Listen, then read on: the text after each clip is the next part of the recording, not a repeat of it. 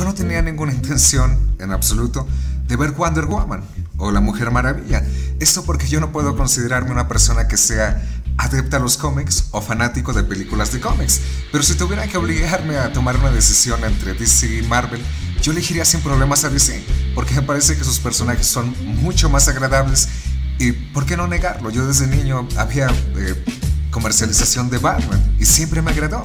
Además de que, pues, en la década pasada estuvo la trilogía del Caballero de la Noche de Christopher Nolan y me pareció una, una trilogía bastante buena que me gustó bastante. Pero entonces yo había visto bastantes los trailers de esta película y en ningún momento me había llamado la atención. Pero entonces, si hay un momento o una situación que hizo que esa pérdida de atención o de preocupación por esta película cambiara, fue en especial hace una semana que se publicó en Rotten Tomatoes, que es una página de críticas, de que esta película tenía 96%, o sea, un puntaje casi perfecto. Eh, rápidamente me dio la, la curiosidad si esta película se merecía ese puntaje, porque hay varias películas que yo considero de superhéroes que son bien calificadas que yo considero que no se merecen su calificación. Ahí tenemos a Civil War del año pasado y tenemos a Logan de este año. Dos películas que sí, podemos decir que son muy buenas, pero que en sí yo siento que le dieron tanto puntaje alto porque son solamente políticamente correctas, pero en realidad no se han arriesgado tanto. Y eso es el resultado de que estas películas me han parecido un tanto planas. Entonces, yo tenía la curiosidad si esta película eh, también le habían dado un puntaje bastante alto, porque era políticamente correcta, o por esta otra razón, que los fanáticos de DC habían esperado durante casi una década una película buena de DC y que ahora que por fin, digamos, saliera una película aceptable, la iban a poner en un pedestal por los cielos. Entonces fui a, mi, a esta película con esa expectación de ver cuál es eh, la calidad de la película. Y antes de empezar con la, con la crítica de esta cinta, tengo que aclarar que esta no es una mala película. De hecho, puedo decir que es una buena película, pero no se me hace en absoluto merecido su 96%. Y ya sé que todos tenemos gustos diferentes, eso no lo voy a negar. Pero para dar una consensación, un ubicarnos de cuál es el nivel que considero esta película, tengo que decir que me gustó mucho más que Logan y me gustó mucho más que Civil War. Tomando eso en cuenta, vamos a empezar a hablar de esta película. Lo primero que quiero hablar, y es algo que creo que todos teníamos la intención de ver, es la actriz, la actriz principal Gal Gadot. Que yo me acuerdo que el año pasado cuando vi Batman contra Superman, algunas personas me daban a conocer su preocupación por la actriz, porque les parecía que no era o muy atractiva, o muy guapa, o lo que sea. Y yo estoy de acuerdo de que no encaja en la belleza básica de Hollywood. Pero pues tengo que confesar que a mí me cae bastante bien. Yo no tengo absolutamente ningún problema con ella. Eh, por lo que he escuchado, ella es israelí, o sea que no solo su fisionomía o demás cosas van a ser diferentes y yo creo que eso nos da una visión diferente. Eh, y en lo personal en esta película me cayó bastante bien. Eh, no puedo decir que hizo un trabajo exageradamente bien, porque nuevamente esta película trataba de ser un tanto políticamente correcto, pero me parece un muy buen trabajo que hizo. En segundo lugar, quiero hablar de la duración de la película. Antes de verla, había visto que esta película duraba 2 horas con 20 minutos. Algunas personas pueden decir que una película que 2 horas y media prácticamente se le veía bastante larga. Y yo quiero decir que la verdad no me afectó bastante. Eh, no voy a decir de que es, de esas películas que simplemente no te das cuenta que ha tardado tanto. En todo momento que vi la película o cuando acabé de verla, yo noté que eran más de las dos horas, pero no me empezó. No es de que tuviera una edición muy rápida o tuviera un paso muy acelerado, pero me parece que la historia está bastante bien dividida, estructurada entre cada una de sus secciones. Me parece que eso sí es bastante bien hecho. Eh, otro de los puntos que también quiero hablar de esta película es el humor. Porque si has visto las películas de DC y vienes a esta cinta, eh, te llevarás una sorpresa porque verás que es una película que tiene más inversión en el humor. Es una película más divertida y puedo ver que algunas personas tal vez empiecen a comparar esta cinta con las cintas de Marvel porque ya sabemos que las cintas de Marvel son más ambientadas para la familia, más humor un poco más familiar, algunos pueden decirlo, humor más tonto. Y quiero decir que esta película, aunque sí se puede asemejar a una película de Marvel porque tiene más uso de su humor, no es un humor tonto, no es un humor eh, absurdo. Pero sin embargo, esta película, a diferencia de otras de Marvel, va a ser más disfrutable para ver entre familia. Eh, también quiero hablar de Chris Pine, el actor Chris Pine. Aquí lo podemos ver. A mí en lo personal no me, nunca me ha agradado. Pero pues en esta película tengo que aceptar que sí se muestra como un personaje con bastante carisma. Y me impresionó un rasgo en especial que demostró en esta cinta. Esto para nada es un spoiler, pero Chris Pine en esta película se supone que es un agente de inteligencia británica que es mandado a ser espía de los nazis.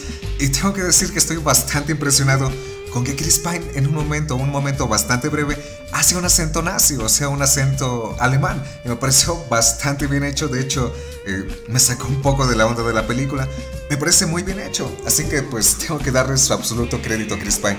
Pero hablando del resto del cast, eh, Ay, me parece algo bastante chistoso, porque en la película original de Batman contra Superman habíamos visto que esta misma foto que aparece en pantalla había salido en la película y en ningún momento había visto que aquí estaba Chris Pine. Y otra sorpresa, que estaba el personaje o el actor Ewan Bregner, que si algunas personas pues han escuchado de él o no han escuchado de él. Es el personaje que salió en Trainspotting, que hizo el, personaje de Spot. Eh, a mí en lo personal pues me cae bastante bien ese actor, pero pues sin alejarnos bastante de la, de sinopsis. El punto sobre este cast es que veremos un fenómeno que ha pasado mucho últimamente, en el que ha habido bastante diversidad racial. Podemos ver que Gal Gadot es israelita, eh, Chris Pine es americano, este personaje me parece que era turco, perdón si me equivoco, este era un piel roja y el personaje de, de Juan Brenner era un personaje que representaba a un escocés.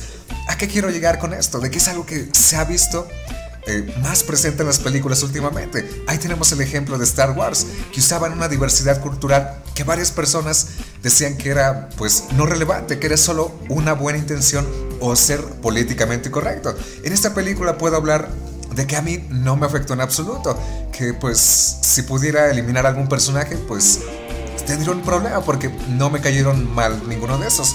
Pero simplemente, nuevamente, me parece completamente innecesaria. Eh, hablando del tema técnico de las peleas, pues tengo que decir que se hicieron bastante bien. Eh, yo no tengo ningún problema, con excepción de que llega un punto donde empiezan a usar bastante CGI, o sea, efectos de computadora. Eh, pero la gran mayoría sí, sí, usan dobles de acción. Yo en lo personal, pues yo no tengo nada contra CGI, pero yo de niño me criaba con películas de karate, de personas, de dobles, que peleaban entre sí y hacían coreografías de acción. Es por eso que tengo un poco más de inclinación a este tipo de peleas. Pero pues, en lo personal, con excepción del final, que es un, es un final bastante lleno de CGI, que yo puedo decir que eso sí afectó la credibilidad del final. Pero con excepción del final, la película maneja bien las escenas de acción y su equilibrio con el CGI. Eh, también me parece que tengo que hablar muy importante de la música. En la película de Batman contra Superman pudimos escuchar por primera vez el soundtrack de Wonder Woman, que era un sonido como muy místico de, me parece que una guitarra eléctrica. Era probablemente el mejor soundtrack o la mejor pieza musical de esa película, de Batman contra Superman. Esto fue escrito, perdón, fue compuesto por Hans Zimmer, que es un escritor es un compositor que se ha vuelto bastante legendario, se ha vuelto como el Ennio Morricone de estos tiempos. El detalle es que me parece que para esta película hicieron su propio soundtrack, y esta me parece que era un soundtrack más reservado, más clásico, más heroico, pero no obstante, aún en algunas escenas de acción le servía de excusa para meter el viejo soundtrack de Batman contra Superman. Y quiero decir que sí, me pareció bastante interesante escuchar ese soundtrack en esas escenas de acción. Pero el detalle es que ver la diferencia entre el soundtrack clásico más reservado y el soundtrack, el, de Batman contra Superman que estaba en esta película, que es un soundtrack más agresivo, que quería llamar más la atención, que tenía el protagonismo al momento de sonarse, me pareció que tal vez hacía un poco desnivelado el uso de los soundtracks. Y en conclusión, me parece una muy buena película, pero repito, yo no creo que valga la pena su 96%. Y nuevamente es una muy buena película, pero yo personalmente no tengo muchas ganas de verla de nuevo. Me parece que pues no explota al máximo lo que pudo haber explotado, pero sí hizo buen trabajo. Es que simplemente poniendo al lado de, digamos, una película como The Dark Knight Rises del 2012, que tiene 88% en Rotten Tomatoes, Realmente no puedo comprenderlo, cómo esta película tiene su 96% y esa otra película 88%. Y ya sé que esto es una serie de formas de decir de que cada uno tiene su opinión y que hay que respetar la opinión de cada uno. Pero yo prefiero más Batman contra Superman que Wonder Woman. Y yo sé que varios van a perder la cabeza, pero me parecía que Batman contra Superman tenía cosas que al final la gente decía que era o muy tontas, ridículas, que hacía que la película fuera discutida y quisieras verla de nuevo. Esta película eh, me pareció mucho más entretenida que Civil War, que Logan, pero simplemente no encuentro algo que la compare como algo de la trilogía de Christopher Nolan. Eh, en conclusión, yo creo que ¿cuál era el propósito de esta película? Crear que la gente o la multitud tuviera una expectación de la Liga de la Justicia. Y aunque creo que esta película no tiene 96%, pues yo no veo ningún problema porque la gente la enaltezca un poco y para que crea más expectación de la Liga de la Justicia. Entonces yo creo que el mérito de esta película por fin está satisfecho. Esos fueron mis pensamientos. Invito a que le den like, dislike, comenten y que se suscriban. También los invito a que me den retroalimentación. Ayudaría bastante para mi canal.